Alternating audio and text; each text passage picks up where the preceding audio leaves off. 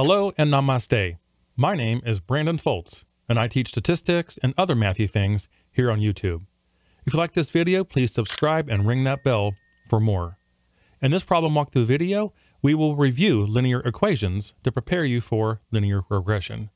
Now, I know your time is valuable, so let's go ahead and get to it.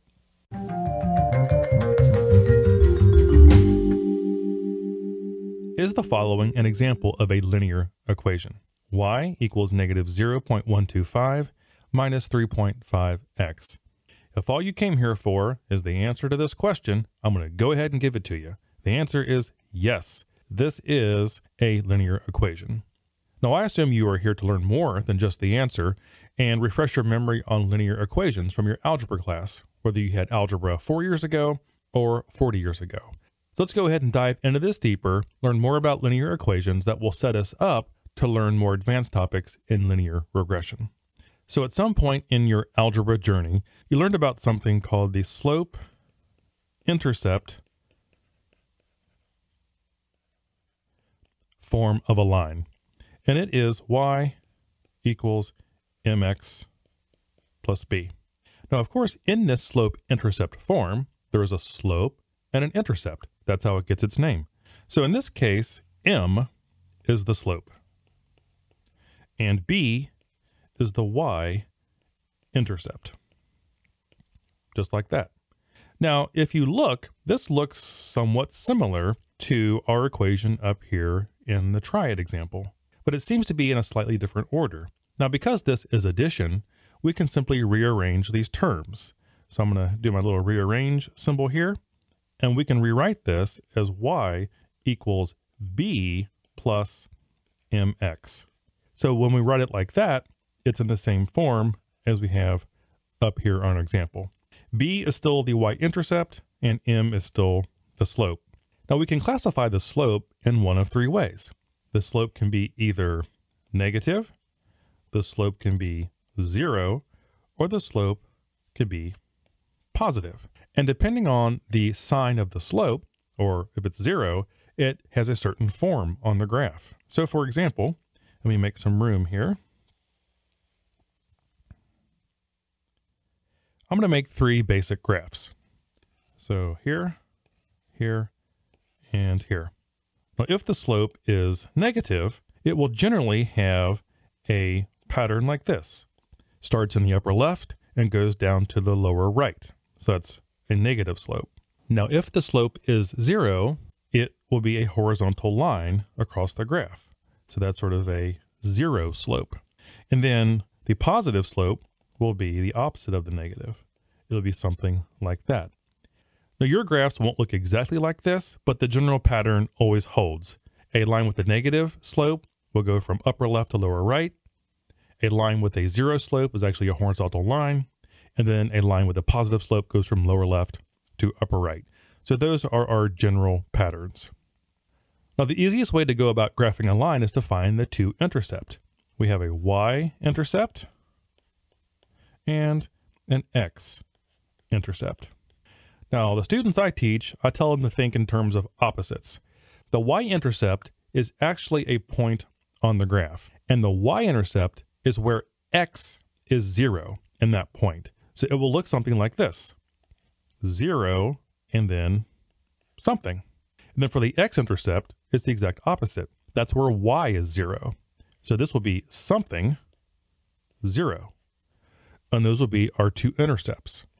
Now, why doing it this way is so easy is that we are already given one of the values of our two variables, x and y. So for example, in the y-intercept case, x is already zero. So if I rewrite our equation, y equals negative 0.125 minus 3.5x.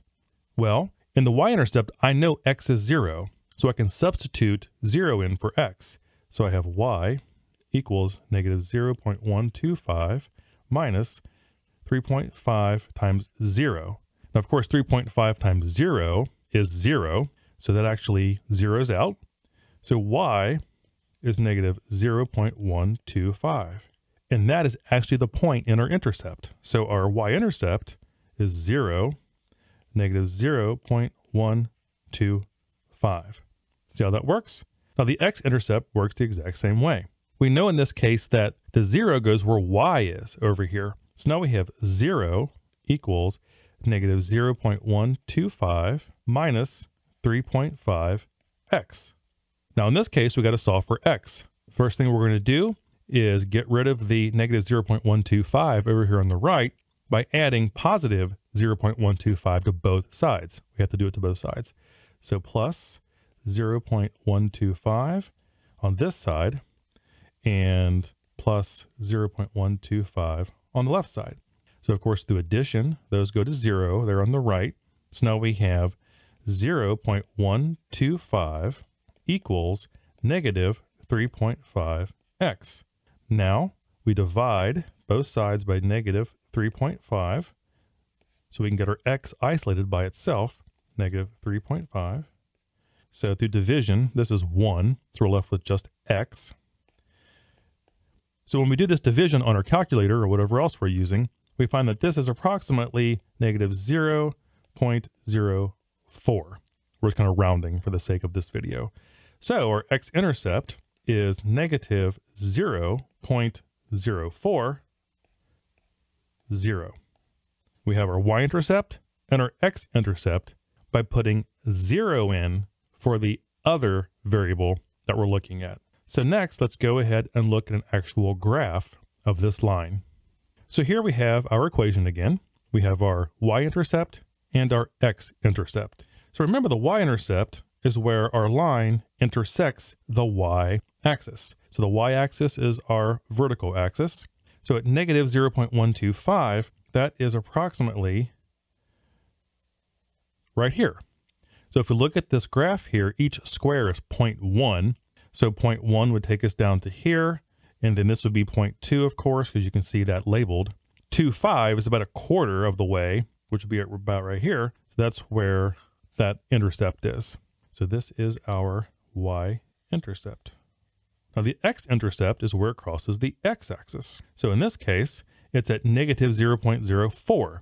So we know that this point here, approximately on that line, is negative 0.1. So 0.04 is a little bit less than half of that distance. That point right there, that is our x-intercept right there. So that makes sense. Now also, if we look at our slope, we see that it's negative. So the general form of this line is from upper left to lower right. If you were to graph this line and you had the slope going the other direction from lower left to upper right, yet the sign of the slope was negative, you would know somewhere that you did something wrong. So you can use the slope sign as a check on your graph to make sure you have graphed it correctly. So in this case, the slope here is negative 3.5. So what does that actually mean? Well, what that tells us is that the rise versus the run of this line is negative 3.5. So remember the slope, m, is rise over run. So in this case, it is negative 3.5 divided by 1, because the 1 there is implied. So the rise is negative 3.5 units, which means we go down. So let's pick a point here. Um, is kind of a small graph, but I'll pick one anyway. So let's pick a point right here on the line. Now let's go down 3.5 squares. So one, two, three, and then a half would be about right there. Now we go over 1 square. So we go from the middle of this square to approximately the middle of this square, and it takes us to right there. So as we can see, this right here is our slope.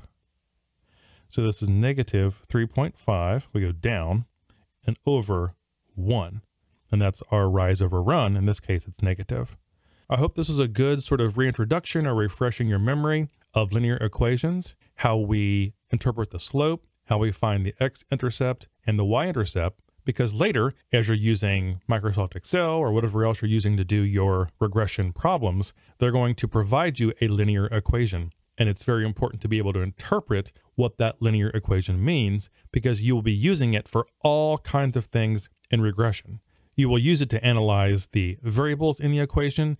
You will use it to determine which variables are significant. You will use it to generate predicted values in the equation and on and on. So it's very important to have a good fundamental understanding of linear equations. Okay, so that wraps up this video.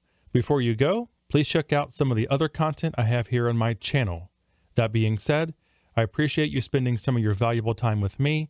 I wish you all the best in your work and in your studies, and I look forward to seeing you again next time. Take care. Bye bye.